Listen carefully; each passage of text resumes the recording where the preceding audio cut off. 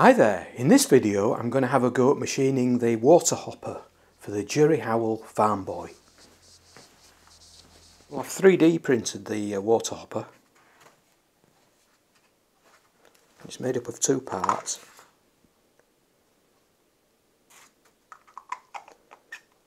And now I need to get my thinking cap on because I'm not too sure how to make that out of that.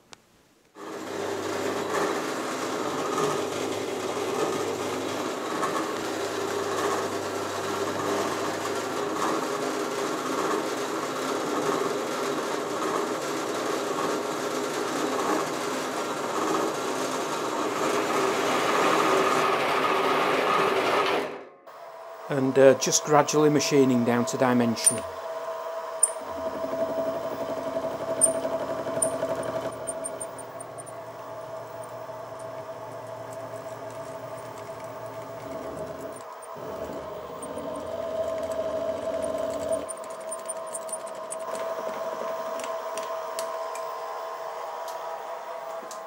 So first of all I'm going to open up this container for the water and uh, it needs to be just over one and a half inches deep and uh, to a diameter of 1.72 of an inch. So uh, I'll start off with this 6mm drill. I've already obviously centred it. I've used a centre drill. Um, so I'll uh, drill to a depth of uh, 1.5 of an inch using this 6mm drill bit. Then I'll gradually uh, build up to around about 12 or 14 and uh, then I'll use a boring bar.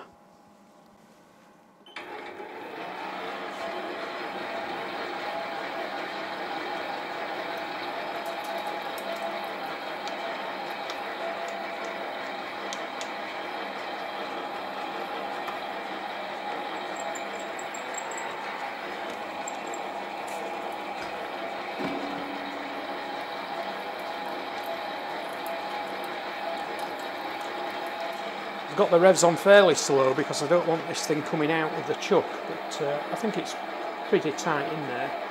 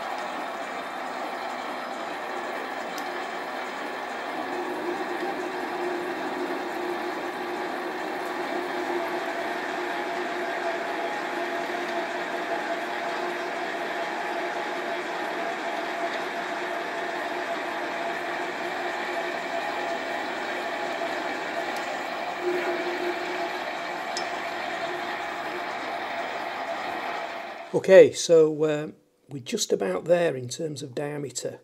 But before I do the finishing cut, I'm going to put the boring bar in the middle at the bottom and gradually withdraw it backwards this way uh, just to clean up this bottom here because there's some ridges in it. But I'll have to do that off camera. And now for the finishing cut on fine feed.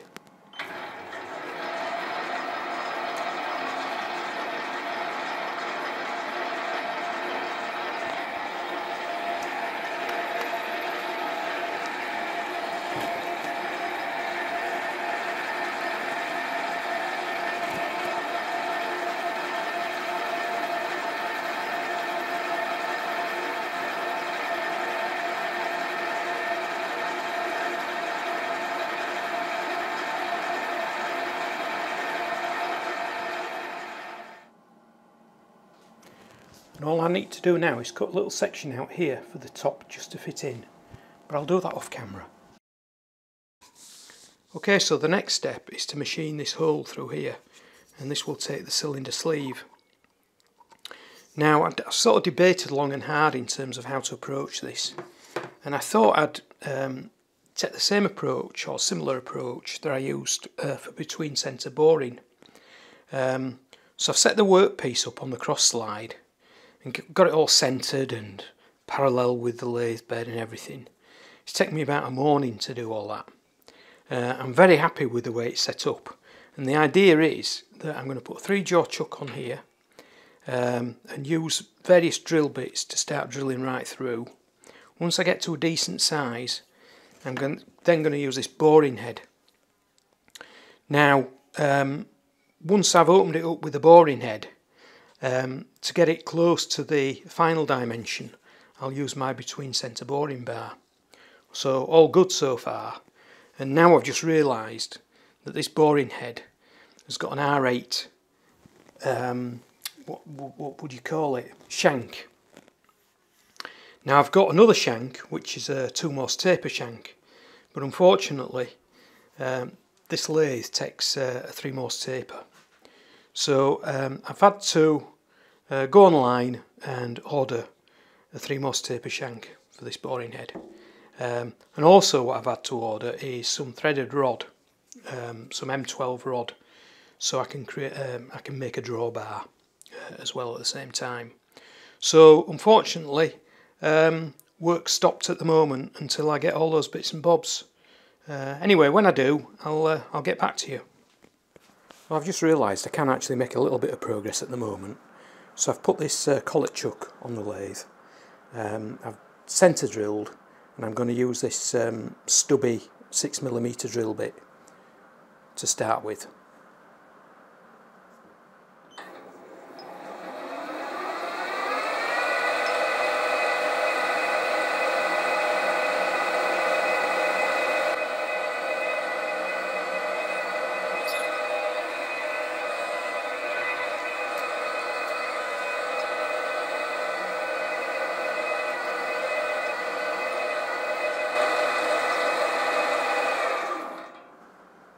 Okay, so now I'll put a longer one in and see if I can get through this end.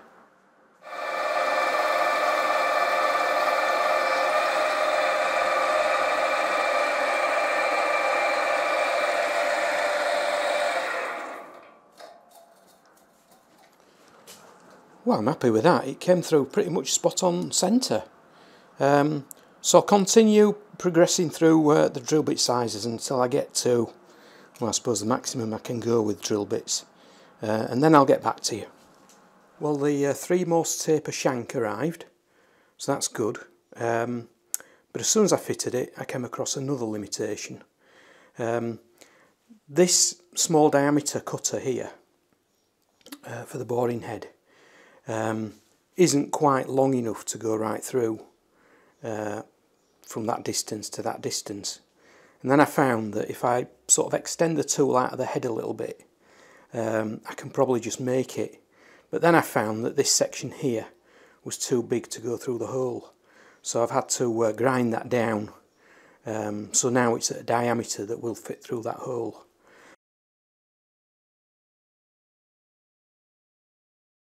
And the other thing I've done is uh, I got a bit of uh, threaded rod and made um, a drawbar it's a bit of a temporary arrangement is this because ideally uh, I'd like to make a washer uh, that fits in there properly. I don't really uh, want to do it this way. I've just got a plain washer um, above this threaded bit and, and obviously I don't want to damage the threads. Um, so once I've completed this milling operation I'll make something better to fit in there. Okay so I'm going to use manual feed on the carriage to take it nice and steady and uh, I'll probably be turning round about uh, between 3 and 400 RPM.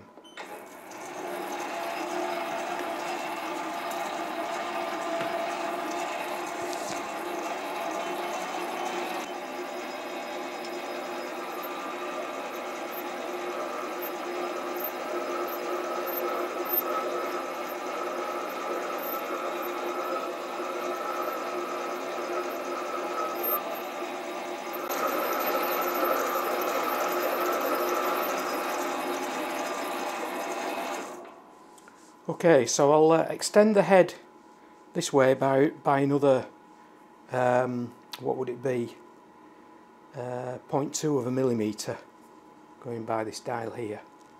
Um, and then I'll take another cut and I'll carry on going. At some stage I'll uh, put this larger tool in, which is actually long enough uh, without having to sort of grind anything down on it.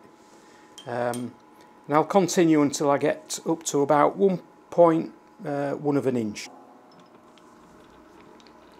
So this is using the uh, larger tool.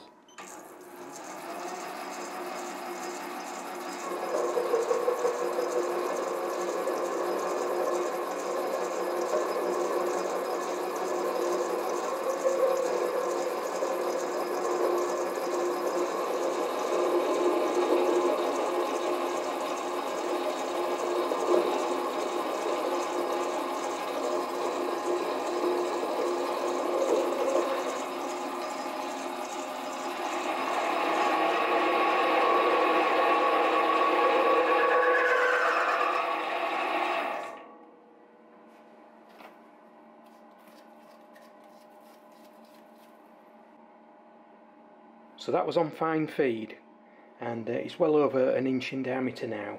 So um, I'll replace the boring head with the between centres boring bar. So this is the uh, Hemingway's between centres boring bar and uh, I'm cutting at uh, 10 thou increments at a time and using the uh, sort of uh, the coarse feed on the carriage.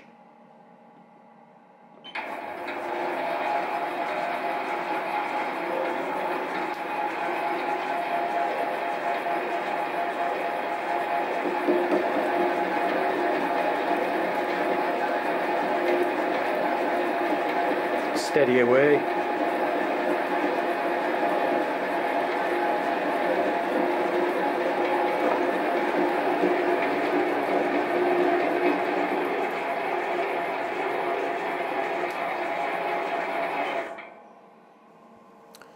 So to adjust the tool, uh, which is there, use this uh, micrometer and um, put the micrometer, slide it onto the shaft and just finger tighten it up so that the end of this screw is just nicely snug up against the end of this tool.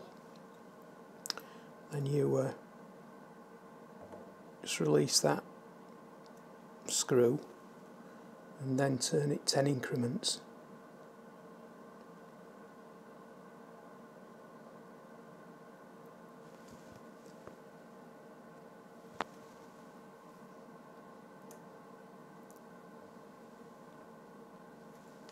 it up. And then take it off the bar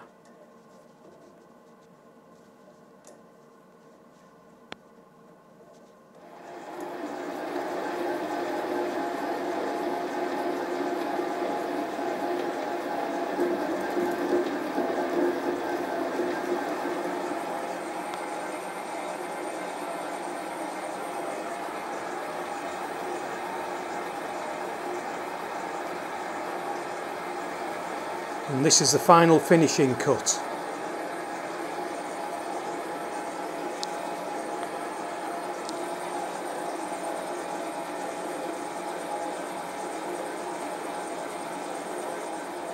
Well, I'm starting to get into this between centre boring. Um, very happy with that. It's supposed to be a nice push fit, and it is. So now I need to work out how to drill these holes here right through so it's quite a distance. Um, so I'll have a think and then I'll get back to you. So having slept on it uh, I think I'm going to do this next uh, bit of machining using a combination of the rotary table and the milling machine. And um, as I mentioned before these three holes go right through the uh, water hopper. And uh, the idea is that these are held on by these long uh, bolts which screw into the main body. Now um, the instructions suggest that you start from the other side Um, not too sure why. Uh, but having said that, um, what I'm going to do is I'm going to approach it from both sides. So I'm going to drill halfway down here because my drill bit is is quite short. I've got some longer ones, but I think I'll I think they'll just wander off if I try and go all that sort of length. So I'm going to go down halfway for all three. and I'll switch it round and then I'll repeat again. Do those three. Now these four here, uh, I believe, are to hold the cylinder head on. So I'll do those at the same time while it's on the rotary table. So the rotary table's already centred uh, on the milling table and the way I centre it is I use this. It's a blank 2 Morse taper um, with the end turned down to 14 millimeters and I just put that in a chuck uh, in the spindle and then dr just drop the spindle down like that into there so the table automatically centres itself and then I bolt it down at the sides. Like I say I've already done that. Now to hold the water hopper on the table um, I decided to make that it's a piece of aluminium now this bit here the outside diameter of that fits inside um, the hole where the um, liner will fit and um, this bit here is 2 Morse taper that I've just turned down on the lathe. So that fits in just nicely in there. Perfect. Now what I need to do is fit that on there, bolt it down and then I can start uh, centre drilling and uh, drilling for real. Okay so just before bolting it to the rotary table I made sure that the side was perpendicular with the top of the um, milling table which it is. Then I moved the y-axis forward by 0.83 of an inch and I centre drilled um, at the point that I've marked up already so I'm confident that the the point I'm on is where it should be drilled so what I'm going to do now is I'm going to drill through um, as, as far as I can with this drill bit. Um, I think it's 7 64ths of an inch this drill bit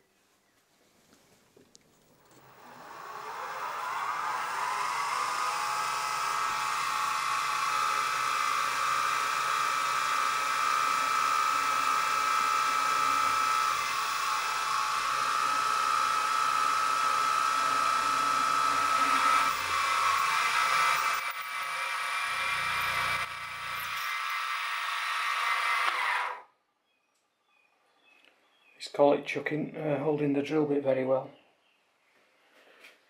But I think we got there. Um, so what I'll do now is uh, I'll move the rotary table 120 degrees and I'll drill in that position. Then I'll rotate it another 120 and drill there. But I'll do all that off camera. So I've drilled all three holes now, you can't see the two at the back. And uh, when I started drilling them I was using a collet chuck because I thought my normal chuck won't fit in but it just fits. Um, so the, the other two holes I used the uh, normal drill chuck. Um, and now all I need to do on this end is to drill an oil hole half an inch deep with this uh, 3 30 seconds of an inch drill bit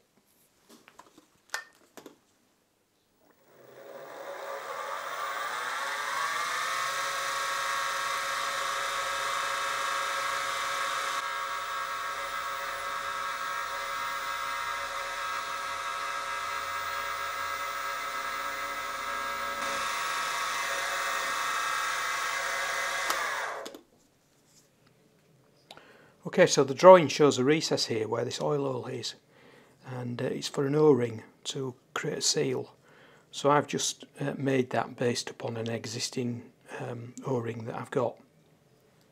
Now the drawing also shows a recess around here um, but there's no reference to an o-ring but I, th I, think there must be one to create a seal. Um, So what I'm going to do here is I've, I've looked up um, O-rings on Simply Bearings and I've found that I can get hold of a, a 34 millimeter one, an outside diameter of 34 millimeter, and it's a, a millimeter sort of thick. So what I've done is I've um, moved the table, the x-axis, sorry, the y-axis this way. Um, so I'm positioned. Um, this outside edge of the cutter is um, it will make a 34 millimeter diameter uh, recess. I'm going to go down to a depth of um, 33 thou.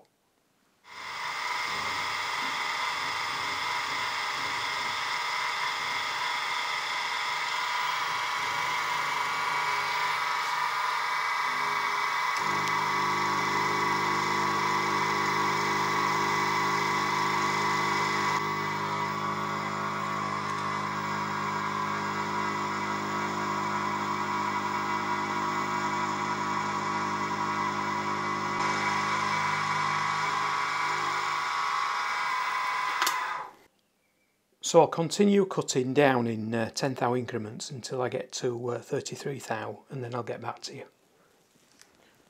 Well that all seemed to work out okay. Um, so what I need to do now is to repeat a similar process on the other side. Hopefully the holes will line up and I need to drill and tap these other four holes as well for, the, for this cylinder head. Um, but I'll do all that off camera. Well that seems to have worked out okay.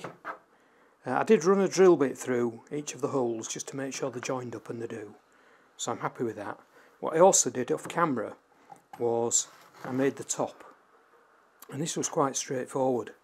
Um, all I did was, um, in a piece of uh, aluminium bar um, on the lathe, drilled through and used a parting tool to part down to that depth there and then I used um, a left hand or rather a right hand tool um, on the compound slide set at 20 degrees to cut that angle.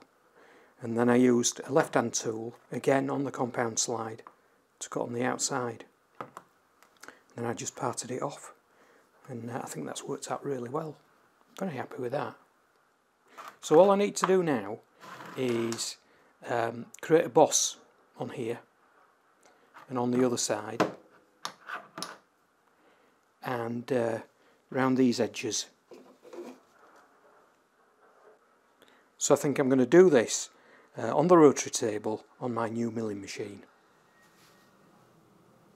Well this is certainly something I couldn't have tackled on the uh, mini mill. So what I've done is I've uh, centred the rotary table, then I've put the workpiece in the vise and then centered the workpiece uh, where the hole is um, for the cylinder sleeve and uh, clamped it down. And uh, I think we're good to go.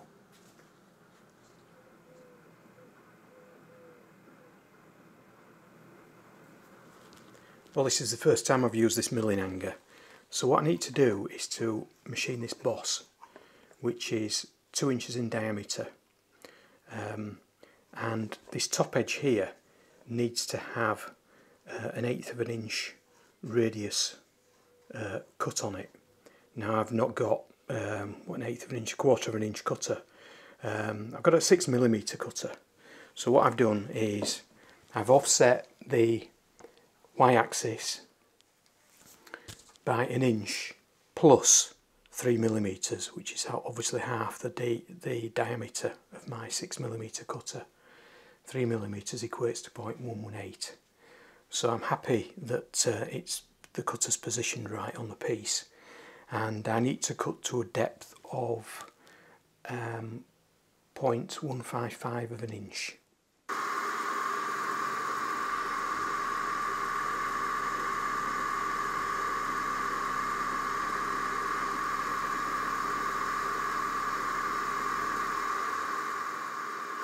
So now I'm going to remove the rest of this material using this uh, face end mill.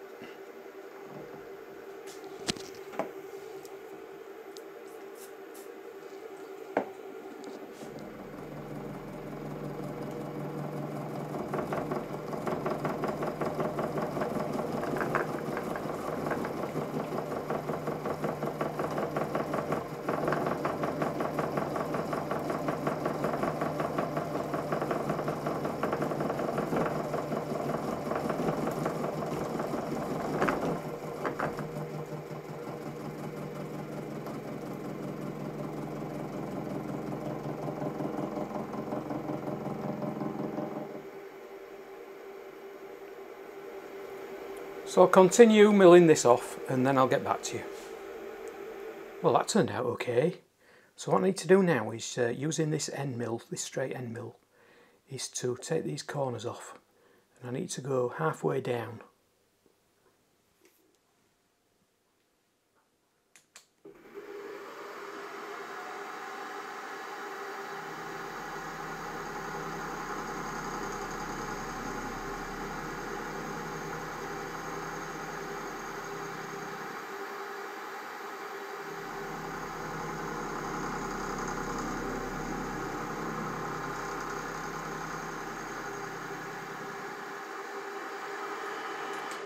Well, this is going to take a while, so I'll uh, get back to you once I've uh, got down to around about there. Well, I've uh, decided to change my approach. I've been using the end mill to go downwards, um, but now I've decided to go sideways. So I think I can uh, do it a bit quicker.